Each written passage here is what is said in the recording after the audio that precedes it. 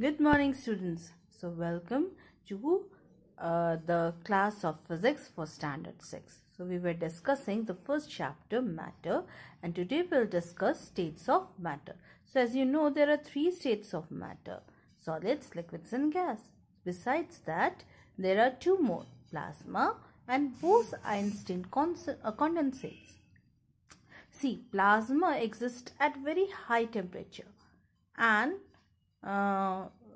it consists of uh, positive ions and electrons.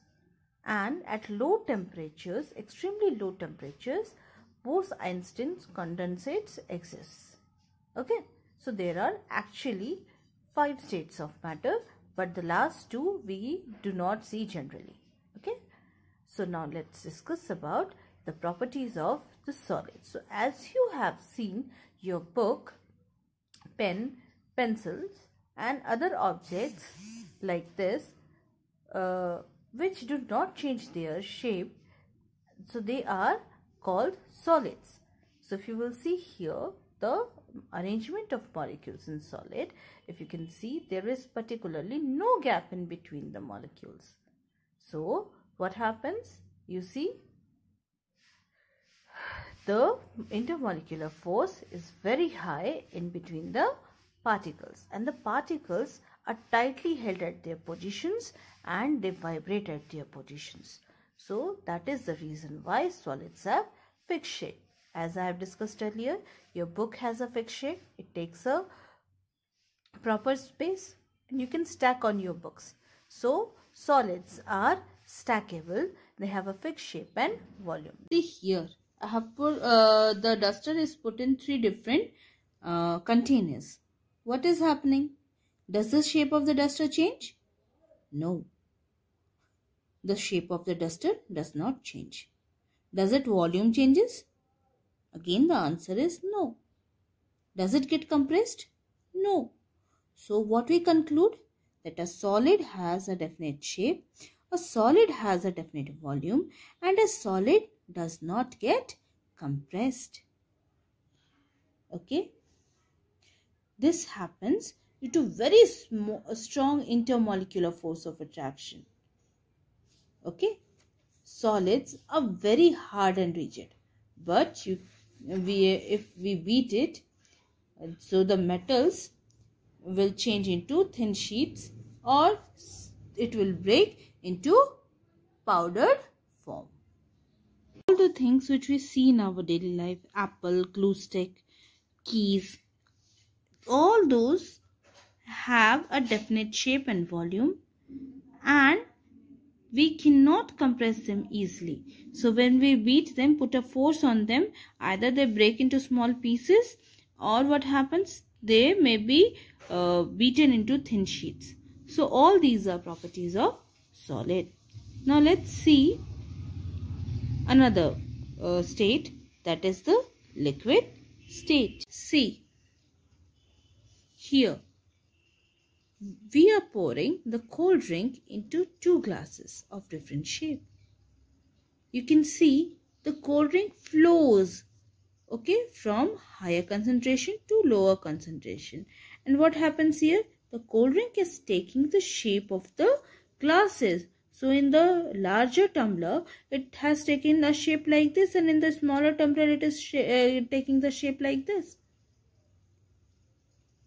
So these are the characteristics of a liquid. In a liquid, the molecules are less closely packed than the solid.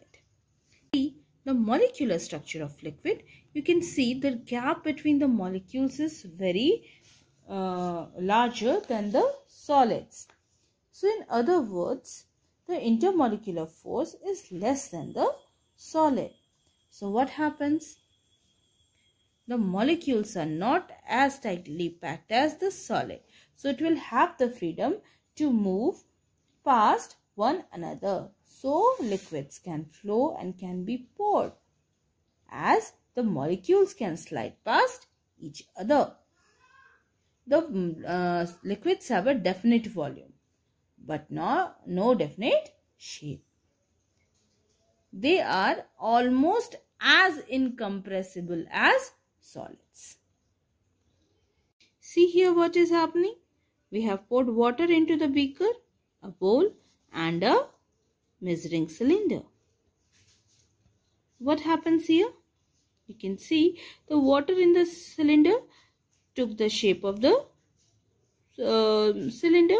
The water in the beaker took the shape of the beaker and the water in the bowl took the shape of the bowl. Each time the water is taking the shape of the container. So we may conclude that liquids do not have a fixed shape. It takes the shape of the container but it has a definite volume. See this balloon filled with air. The air in these balloons takes the shape of the balloon and the balloons also do not occupy the same space. So, gases do not have a definite shape. It takes the shape of the container in which they are filled. Also, they don't have the fixed volume because there may be different amounts of air filled in these balloons. So, we can conclude that the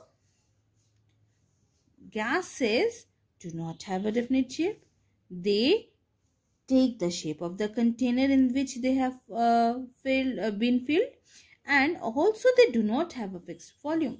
But how this happens and why this happens?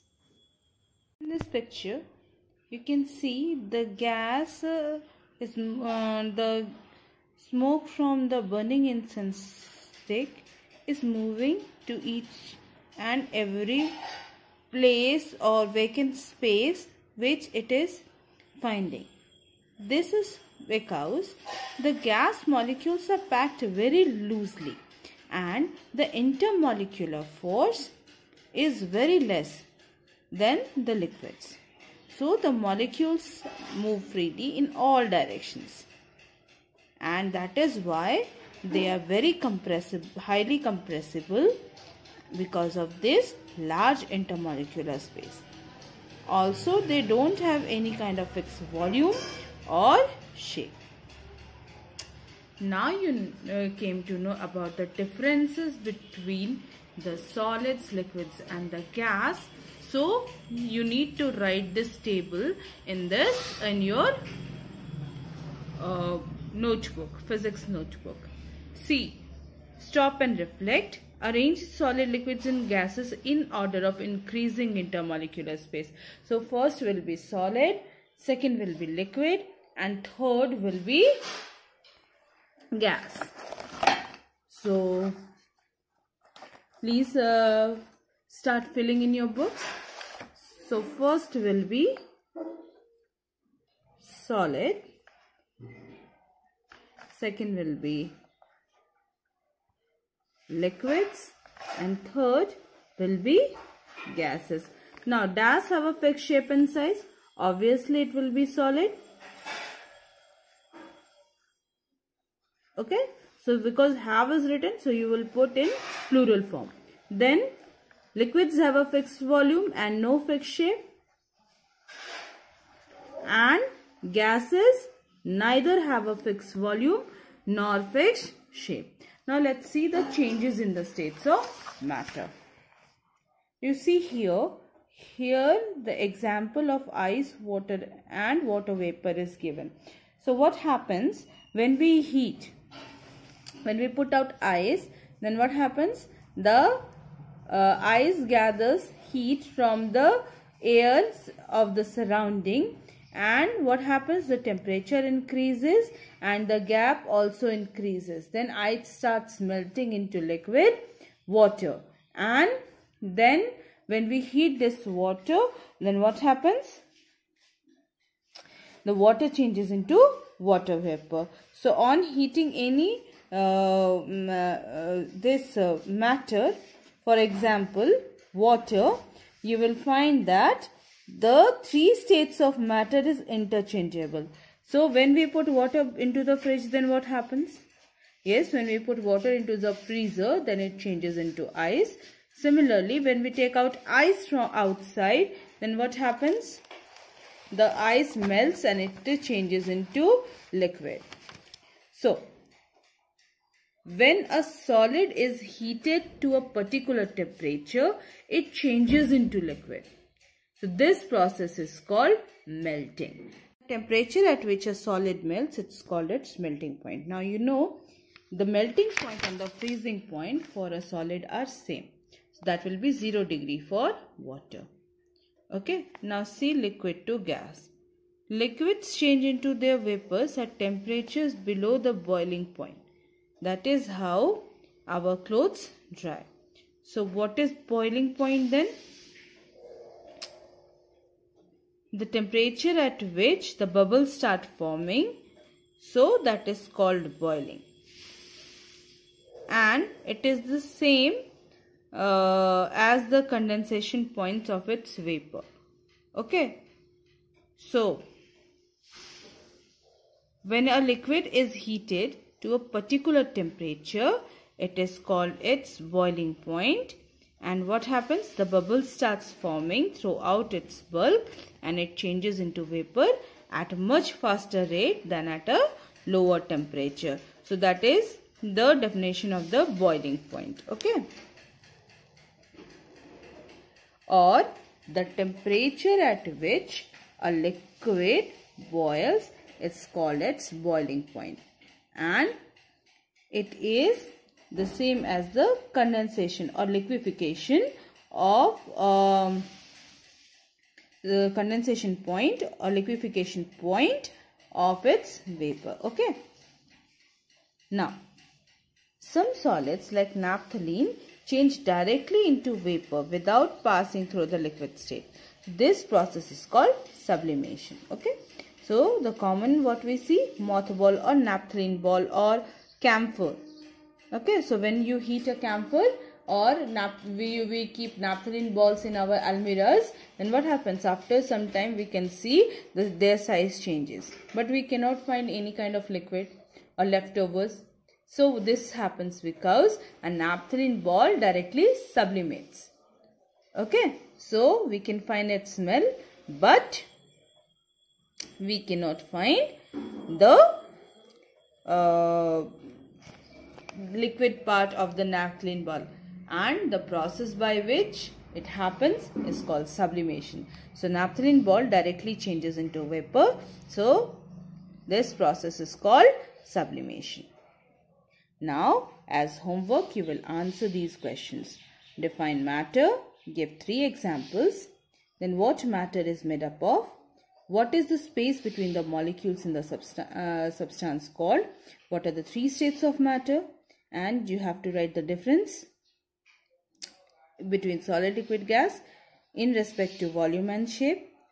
Okay, then you need to write what is the interconversion, uh, interconversion of state and you have to write what is sublimation and you need to give two uh, the name of two substances. I just gave you the names naphthalene and camphor. Then what is liquefaction? So liquefaction means the when a vapor condenses or cools and changes into liquid that is called condensation or liquefaction. Okay. What causes matter to change its state? So increase in the temperature or when we heat a matter then it changes its uh, state. Why are gases highly compressible? Okay. So, we have discussed this change in the state of matter.